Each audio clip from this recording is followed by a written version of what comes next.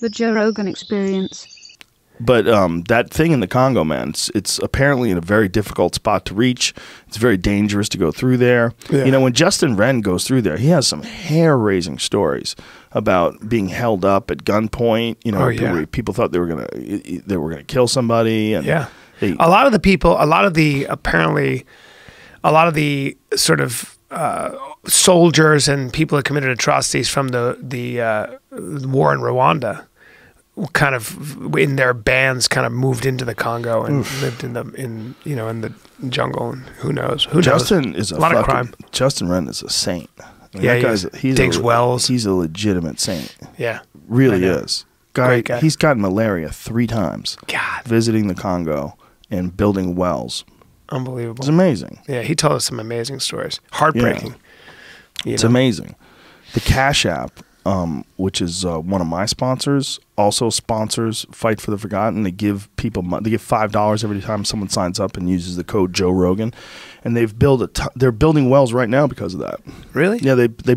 What was the latest number? I forget what the number was. They sent me uh, an updated. Like very early on, they were they had built two wells, and then they built a bunch more, and provided water to a, a shit ton of people down there. I don't know the exact statistics. The guy who wrote Moonwalking with Einstein, uh, what the hell is this? He? It's a book about memory and stuff. Really smart guy. He lived with the pygmies in the Congo for a long time. Oh, well, that's what Justin Wren's doing. It's all yeah, and said yeah. that they smoke copious amounts of weed. At least the tribes that he lived with. Is that the book? Yeah, jo- Joshua Foer. Four. Really interesting. What a name. Yeah. F O E R. Four. Yeah. And Uh, I said, like, what, name. what is it? You know, these are people that truly have been almost untouched by Western civilization. And he's like, well, no, I mean, they die of stupid things like, you know, you get an infection Yeah. and you just, you know, you don't have antibiotics. Well, there's a lot of bacteria and parasites and stuff too. They Oh, get yeah. stomach parasites from water. Skin diseases Mm-hmm. and weird things like that. Yeah, the jungle's not, even if you've evolved to live in it, it's not a very. I spent enough time in the Indonesian rainforest. I've never seen bugs like that in my life. I've never seen anything like it. It's so loud. It sounds like it take the loudest street in Manhattan, and I'm not kidding. That's how loud the insects and birds and everything are. And then you have to carry a bug spray. Does not work. Did I ever tell you this? The bug spray. Yeah. You got to carry a sulfur coil. Yeah. Good luck with the mosquitoes. Bug spray. They laugh at your fucking at your bug spray. You got to carry a. You have to burn a sulfur coil. And you just holding carry, it. hold it while That's you're correct. walking. It's, Is in certain else- times of the day, like when you wake up, they- they just they're all over the place. What year was this that you were doing this? Oh, God, I was 21. Did they did they have Thermacells back then? I don't think so. Yeah, Thermacells are the shit. Have you ever used a Thermacell? No, what is that? Oh my god, they're they're a fucking game changer. Really? Yeah, yeah, yeah. It's um it's a device that has like a heating coil in it and some fuel and you ignite it and the the heating coil it heats up and you put this little pad across this screen and this little pad has this stuff in it that mosquitoes hate. It's probably terrible for you. Yeah, some fucking say. chemical. But the chemical wafts up in the air and I'm telling you it creates like a 10 foot bubble around you where no mosquitoes That's get in. great. Yeah, and e- look, even if it's a little bad for you, maybe it's like smoking a pack of cigarettes. Yeah, better than getting Yeah, con- fed on. Yeah, I'm not using it every day. I wouldn't recommend using it every day, but if it's difference between like enjoying, like if you're in a place like uh, Alaska, Alaska, yeah. exactly. Weren't, weren't you? What about Edmonton up there? Didn't Yes, you get same thing. You came back with like Oh, they looked like you you. had the pox. They'll fuck you up. Those mosquitoes, man.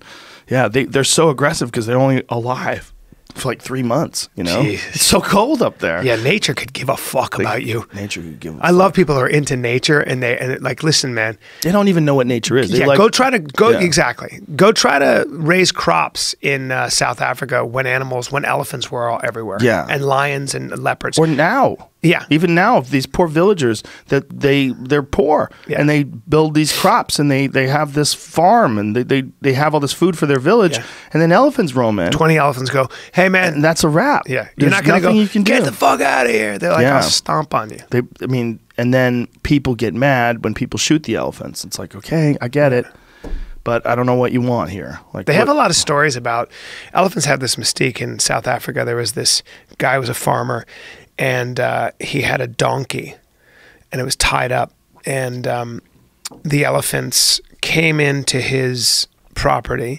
and he shot guns and got him the hell away from there. And then uh, the next day, the elephants came back and stomped his fucking donkey into mush. Whoa. just stomped. The donkey was on a you know rope, and they were like, "Really, gang, gang, gang." And then, of course, the other the neighboring farm when the elephants came, she she laid out a bunch of food for them, and the I- and and they spared her her crops. There are all these elephants have Hmm. this mystique, which is all. By the way, maybe the biggest a holes in the world. Elephants? They hate everybody. but they were so nice. I was in Thailand. I was Yeah, there's a Thai elephant, sir. They're different. African elephants. You're not you're not taming an African elephant. Good luck. Most What's of the elephants you see. What is this, Jamie? Okay, Jamie's watching like this little buffalo Oh, yeah. gets up. Oh my god. Yeah. Elephant came over and rolled it over. Yeah, they don't give a fuck about you. It There looks you like go. he's trying to stab him. He is. Oh, he does. He's killing.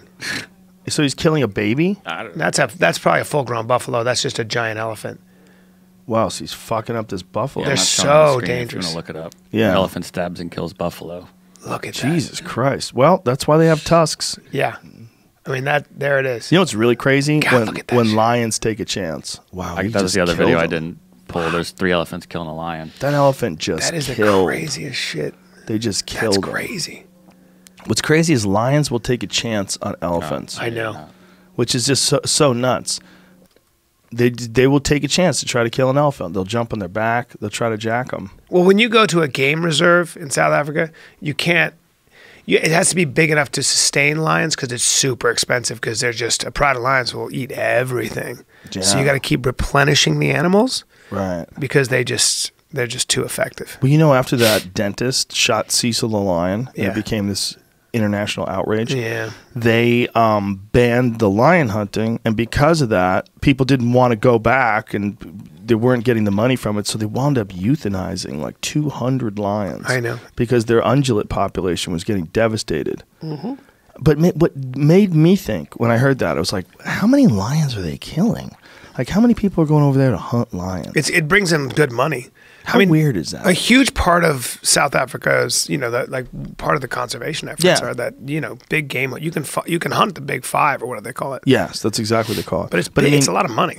it, it is a lot of money and it brings them a lot of money and it brings them a lot of money for conservation and all that stuff but what a weird activity is there an activity that's more human in that like we're so conflicted and so weird that the only way we have animals that stay alive in this part of the world like where they're in record populations Yeah. is to set it up so you can kill them Yeah. So Yeah. like like they we figured out some weird loophole. Like we don't want the rhino to die. Hey, we don't want the rhino to die either.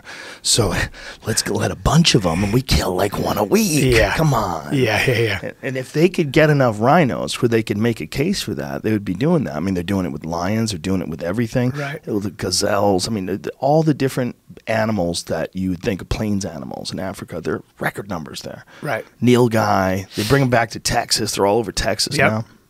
There's so many animals there, and a lot of those animals were on the verge of extinction, but they're there because people kill them. Like what a fucking Yeah, it's weird. Drum. It's weird. Real The weird. bigger issue is is um, unbroken uh, migratory range. Yeah. And habitat. The Masai Mara is one of the few places where they can roam for thousands of miles. But most of Africa now is broken up into. I think there's an area in Cameroon or whatever. But most of Africa is broken up into. I mean, in South Africa, it's all basically, with the exception of Kruger Park, it's all abandoned. Um, you know, cattle lots, Mm-hmm. and then they just there's money in it, so you buy that lot and you just stock it with animals, and then you drive around. They, they, it's a sustainable ecosystem, but it's Yeah, it's you- weird. You gotta, yeah, you gotta. You still, you do have to call the the, you know, elephant population and lion Yeah. population. Well, when we think about Africa, right? When we say, "Oh, elephants are going extinct in Africa," like Africa is so big. it's crazy.